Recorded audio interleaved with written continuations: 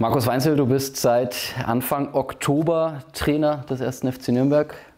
Wie blickst du auf die vergangenen knapp drei Monate zurück? Bereust du die Entscheidung schon, zum Club gewechselt zu sein?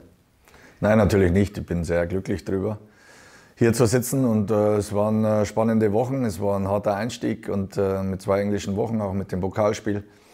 Wir haben uns den Aufgaben gestellt, haben es ordentlich äh, zufriedenstellend irgendwo mittelmäßig geschafft. Aber wir wollen es natürlich verbessern, wollen es besser gestalten. Wichtig war der Sieg gegen Paderborn zu Hause nochmal. Da haben wir gesehen, was die Mannschaft auch kann und das als Basis zu sehen für die kommenden Monate und das zu verbessern ist die Aufgabe.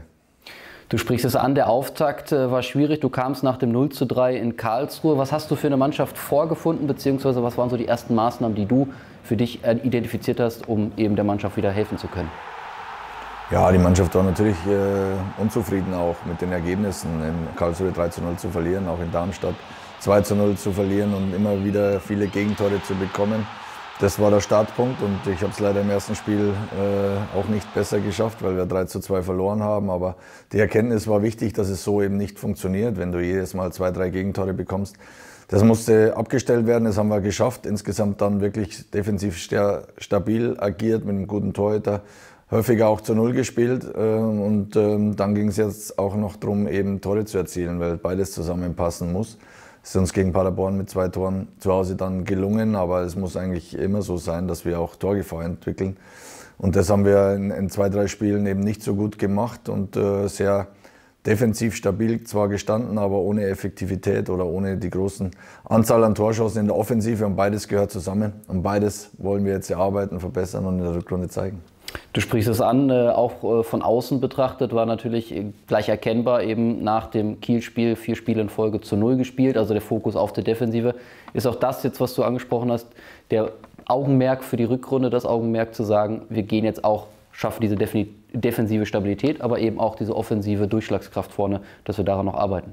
Beides brauchen wir, um das geht's, die Balance zu finden, aber ich bin überzeugt davon, äh, dass die Defensive die Basis sein muss und Tore nach vorne kann man auf verschiedene Weise dann auch immer wieder erzielen, aber äh, wichtig wird sein, ihm wenig zuzulassen.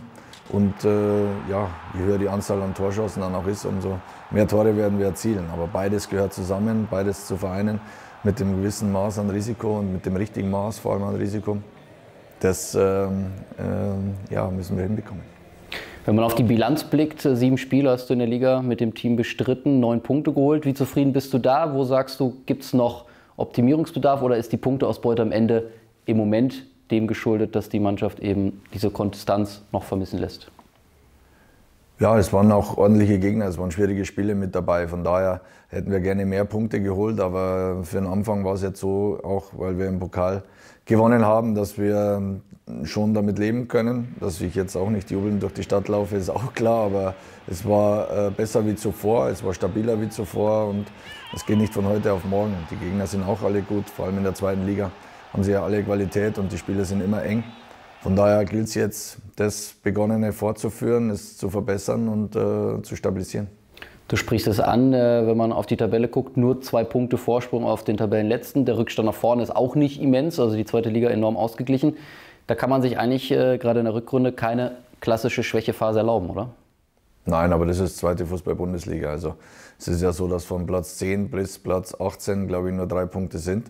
Also von daher, äh, es kann jeder jeden schlagen und es ist spannend. Da sind viele Mannschaften ganz eng zusammen und äh, da sind wir mittendrin. Das wissen wir und deswegen ist es, glaube ich, auch richtig, äh, sich auf, auf die eigene Mannschaft zu konzentrieren, unsere Stärken da herauszukitzeln und äh, ja, Fehler gilt es zu vermeiden. Das ist auch klar, aber eben am Limit in den letzten drei Prozent zu arbeiten, da liegt vor allem in der zweiten Liga das Geheimnis, um, äh, um erfolgreich zu sein.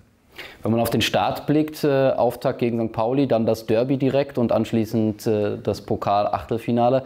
Wie sehr kribbelt das auf der einen Seite sich auf die Spiele, auf die also dass die Vorbereitung irgendwann zu Ende ist und diese, die Saison weitergeht nach der langen Pause? Und andererseits, wie schwierig ist es vielleicht auch oder ist es Vor- oder Nachteil, wenn man gegen vermeintlich direkte Konkurrenten startet, die in der Tabelle um einen drumherum stehen?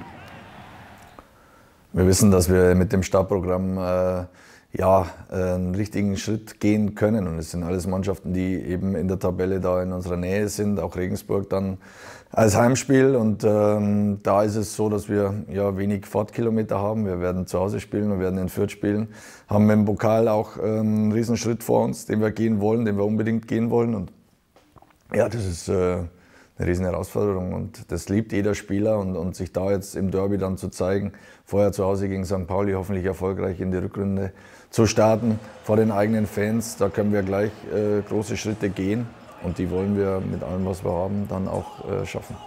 Fehlen werden definitiv die Langzeitverletzten um Christian Martinia, Erik Weckesser oder auch James Lawrence, die sich im letzten Spiel alle verletzt haben. Wie bitter ist sowas dann gerade und mit Hinblick auf eben die Verstärkung. Wie zufrieden bist du, dass so schnell Ersatz oder zumindest Verstärkung generell für die Mannschaft gefunden werden konnte? Wir haben den Sieg gegen Paderborn sehr teuer bezahlt. Äh, erstmal war unheimlich wichtig, natürlich diese drei Punkte äh, im letzten Spiel zu Hause zu holen, war, war ja, brutal wichtig. Aber umso bitterer war es dann trotzdem, dass eben diese drei Spieler sich so schwer verletzt haben. Habe ich auch selten so erlebt, in einem Spiel drei Langzeitverletzte mit vier bis sechs Monaten zu haben. Äh, war sehr, sehr bitter, aber wir haben jetzt eben das Beste draus gemacht und haben Neuzugänge geholt, haben die, die Ausfälle versucht zu kompensieren, werden wir sehen. Äh, die ersten Eindrücke sind sehr, sehr positiv, ähm, aber klar hoffen wir, dass, dass die drei auch schnell wieder gesund werden und schnell wieder bei uns sind. Zum Abschluss äh, dann noch die klassische Frage, wenn du zurückblickst, ähm, was war dein persönliches Highlight in den drei Monaten beim Club? Gibt es ein Spiel, einen Moment vielleicht, den du rausgreifen kannst für dich? Alle, alle erfolgreichen Spiele vor allem äh, waren, äh, waren schön, vor allem schöner wie die, wie die nicht so guten oder wie die Niederlagen, aber im Endeffekt waren es in der Liga zwei Siege, zwei Niederlagen, drei Unentschieden im Pokal weitergekommen, also im Endeffekt positiv mit drei Siegen, aber das letzte Spiel war jetzt schon nochmal so, wo ich äh, große Hoffnungen daraus ziehe, weil ich äh, gemerkt habe, dass äh, die Mannschaft ja, es nochmal unbedingt wollte, dass sie auch über einen Punkt drüber gehen konnte im letzten Heimspiel und auch gut gespielt hat, auch verdient äh, gewonnen hat. Und dann hat man gesehen, auch äh, nach dem 2-0, welche Last von den Spielern gefallen ist. Die haben uns zwar dann irgendwo wieder äh, selbst eingebrockt mit dem, mit dem 2 1, aber man hat gesehen, dass, dass es äh, für die Spieler in dem Halbjahr auch vom Kopf her nicht so einfach war. Und mit dem 2-0 haben wir auf einmal mit der Hacke gespielt und Doppelpass gespielt. Da hat man gesehen, dass eine gewisse Leichtigkeit wieder zurückgekommen ist und, und ähm, deswegen bin ich sehr zuversichtlich, dass wir jetzt mit harter Arbeit das in der Vorbereitung verbessern können und hoffentlich gut starten und die Jungs dann ihr volles Potenzial auf den Platz bringen. So, so ein Jahreswechsel ist ja auch immer so eine Möglichkeit zu sagen, ich nehme irgendwas mit an Vorsätzen beispielsweise oder Wünsche fürs neue Jahr. Was, wie sieht das bei dir aus? Vorsätze, ja, ein bisschen vielleicht äh, Gewicht zu arbeiten, ein bisschen mehr Krafttraining für mich selber, dass ich stabiler bin. Aber nein, im Endeffekt geht es darum, dass das alles äh, jetzt gut war, finde ich, die letzten Monate persönlich auch mit dem Club, glaube ich schon, dass wir zuversichtlich sein können. Ich habe es angesprochen, mit dem Paderborn-Spiel äh, blicke ich zuversichtlich in die, in die Rückrunde und dann gilt es einfach in den letzten drei Prozent die Jungs dahin zu bekommen, dass sie Vollgas geben können und dann werden wir das Glück auf unserer Seite haben und dann werden wir auch gemeinsam schöne Momente haben. Da wünschen wir dir viel Erfolg dabei und natürlich erstmal entspannte Feiertage und ein bisschen durchschnaufen, bevor es dann in die Endphase der Vorbereitung geht und dann in die Rückrunde. Vielen Dank, liebe Grüße.